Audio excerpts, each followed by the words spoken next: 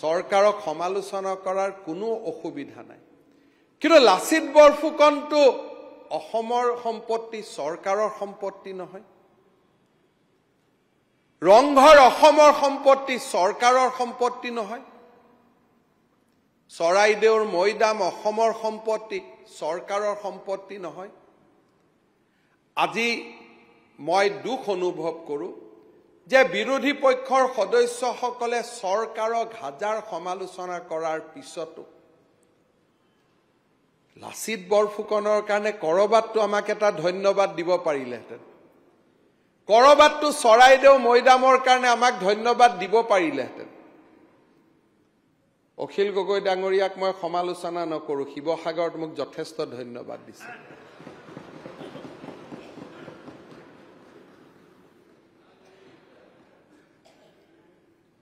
আজি লাচিতৰ সুচ্চ প্ৰতিমূৰ্তি। কৰবাততো এই চৰকাৰখন ধন্যবাদৰ পাত্ৰ। এইখন অসম। তিনিখন মেডিকেল কলেজ আছিল মই স্বাস্থ্যমন্ত্ৰী হোৱাৰ আগত। কংগ্ৰেছৰ দিনত ছখন হ'ল।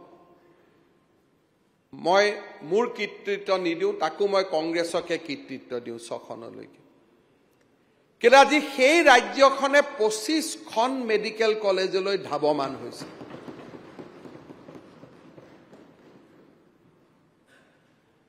আমাৰ কল্পনাৰ ভিতৰত আছিল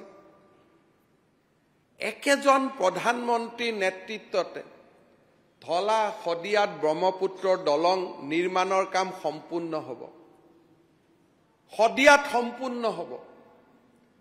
প্ৰথমবাৰৰ বাবে মাজুলী লখিমপুৰৰ লগতো সংযোগ হ'বৰ বাবে আগবাঢ়িছে যোৰহাটৰ লগতো সংযোগ হ'বৰ বাবে আগবাঢ়িছে। কলীয়া ভোমোৰাত দুখন দলং হ'ব। গুৱাহাটী উত্তৰ গুৱাহাটীৰ ওপৰত দলং হ'ব। শৰাইঘাটৰ ওপৰত দ্বিতীয়খন দলং হ'ব। শুৱালকুছি পলাশবাৰীৰ মাজতো দলং হ'ব। আৰু ধুবুৰীৰ ফুলবাৰীতো দলং হ'ব।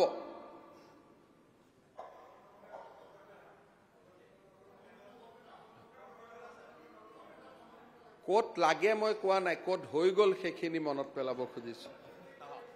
ই অসমৰ স্বৰ্ণিম দিন হয়নে নহয়? বিজেপিৰ স্বৰ্ণিম দিন নহয়। যদি ব্ৰহ্মপুত্ৰৰ ওপৰত অহা কেইদিনমানৰ ভিতৰত নাৰেংগী কলোৱা কুৰুৱাৰ দলঙৰ কাম আৰম্ভ হ'ব। আৰু চাওঁতে চাওঁতে নুমলীগড়ৰ পৰা গহপুৰলৈ তলেদি সুৰংগ নিৰ্মাণ হ'ব। এয়া অসমৰ স্বৰ্ণিম যুগ নহয় জানো?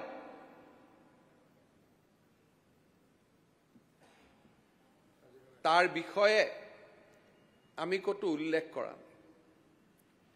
যোৱা তিনিটা বছৰ অসমত অখিল গগৈ অখিল গগৈ জাগাত আছে।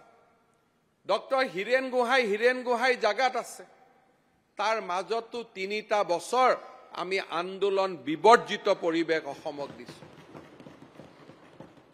জনসাধাৰণে সিদ্ধান্ত লৈছে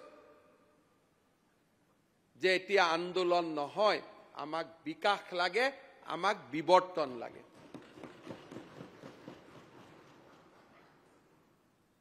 যোৱা তিনিটা বছৰত সাত হাজাৰ ডেকা ল'ৰা ছোৱালীয়ে জংঘলৰ পৰা মূল খুঁটিলৈ উভতি আহিল।